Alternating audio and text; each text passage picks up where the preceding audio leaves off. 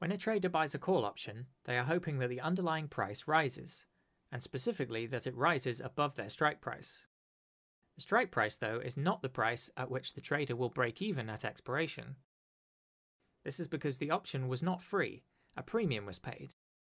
This premium must be taken into account to calculate where the option will break even if held to expiry. In example 3 in the previous lecture, you may remember we bought an SLV call option with a strike price of $30, and then it expired with the price of SLV at $31, which is above our strike price. This means the option had an intrinsic value of $1 when it expired.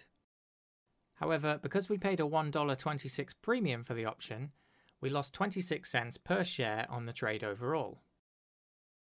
It is useful when buying call options, particularly if you're planning to hold them to expiry, to know what price the underlying needs to reach for your trade to break even.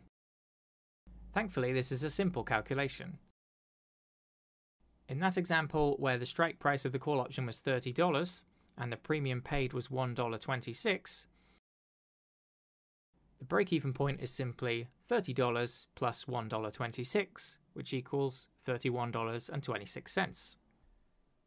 This means that if the price of SLV is exactly $31.26 when the call option expires, the trade will have made precisely $0. No profit, but no loss either. At this price point of $31.26, the call will expire with a value of $1.26, which is equal to the premium that was paid for the option. As the value at expiry is the income from the trade and the premium paid is the expense, when these two things are equal, this means the trade will make $0. More generally, the break-even point of a call option can be calculated as the strike price plus the premium paid.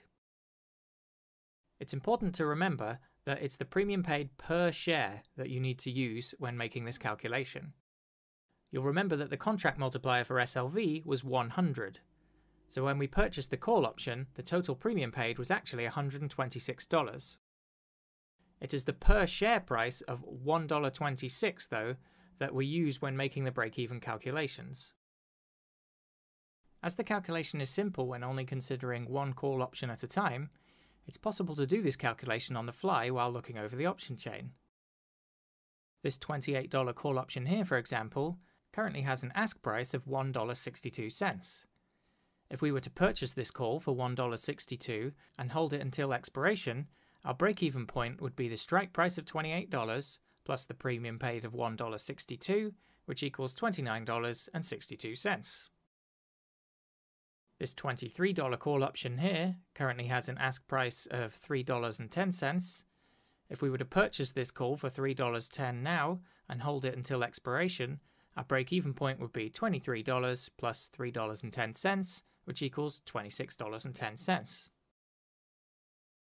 We will be moving on to the differences between buying and selling a call option later in the section. It's worth mentioning briefly now, though, that the break even point for the seller of the call option is exactly the same as the break even point for the buyer of the call option. In summary, the break-even point of a call option can be calculated as the strike price plus the premium paid for the option. Remember to use the per share value for the premium paid, not the total premium.